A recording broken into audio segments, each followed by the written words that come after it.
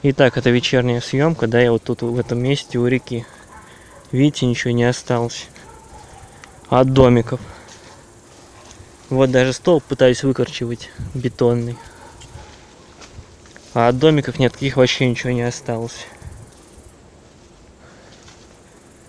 Их под корень сожгли. Прям заживо.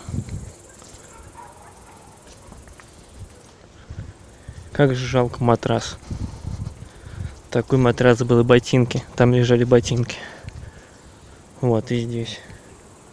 Тоже ничего нет вон там.